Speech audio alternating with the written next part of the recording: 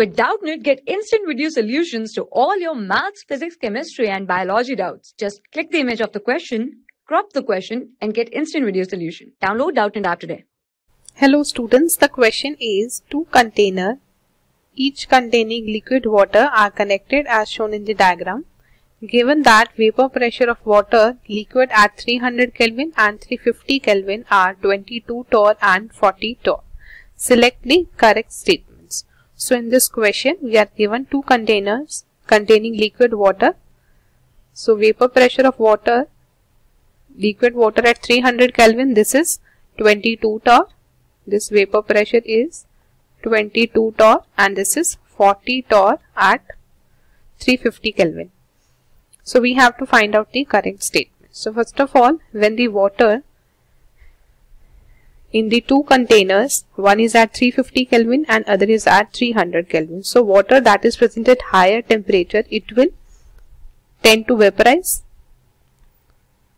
H2O liquid at 350 Kelvin it will start vaporize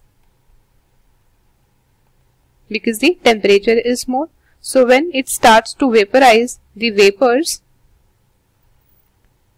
the vapors when the wall will be opened that will go from the container at higher temperature to lower temperature that is from 350 to 300 Kelvin. The vapors will start moving from vapors will start moving from container at 350 Kelvin to 300 Kelvin. Now at one time it comes that all the vapor, liquid vaporizes and the vapors will be in the this container at 300 Kelvin. So when all the vapors they are completely vaporized when all water is completely vaporized. Then the vapor pressure. Then vapor pressure of the containers. They will be equal because all the vapors are present in this container that is maintained at 300 Kelvin. So the vapor pressure will then be equal of the containers will then be because this is the vapor pressure that is 22 torr so it means all the vapor will now be in this container so vapor pressure will get equalized and it is equal to 22 torr when the valve is open.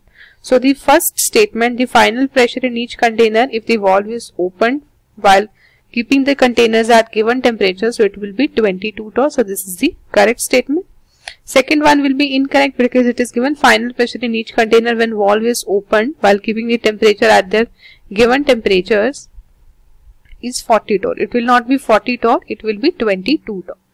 C is, this is wrong. C is mass of water liquid is decreased in container X.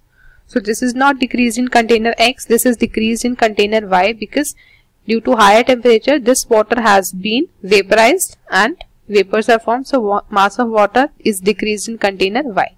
So D is also the correct answer. So the correct statements to this question will be A and D options. I hope you understood the solution. Thank you. For class 6 to 12, IIT JEE and NEET level.